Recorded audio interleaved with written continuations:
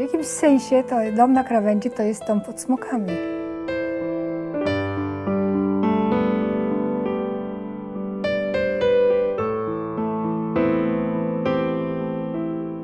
Moja bohaterka bardzo się różni ode mnie, ma swój własny los, ale jakby widzę takie mm, punkty y, styczne y, z naszymi, te, te nasze losy się tak schodzą i rozchodzą.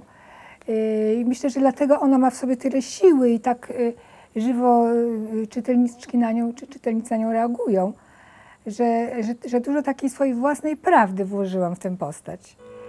I y, zaczynać od tego, od budowy domu, bo ja budowałam dom i ona buduje, budowała dom. I no można powiedzieć, że właściwie to jest ten sam dom, to jest dom pod smokami.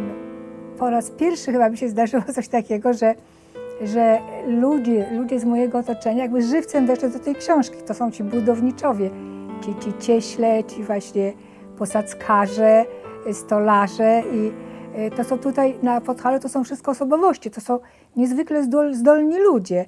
Oni mają złote ręce i ja starałam się, ja byłam nimi zafascynowana i, i, i, i, i opisywałam ich. Właściwie to się, to się działo, to była taka książka pisana z dnia na dzień, tak jak dziennik.